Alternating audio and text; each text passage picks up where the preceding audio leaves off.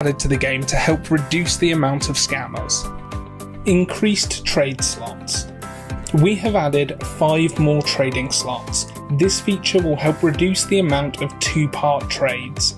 Players now have 9 trading slots, meaning they can trade more items and pets at once. Trade License Earn a trade license by passing the trade license quiz in the Safety Hub. The trade license quiz must be passed in order to claim the trade license. The quiz aims to teach players the basics of safe trading and to show what a potential scam could look like. All three questions must be answered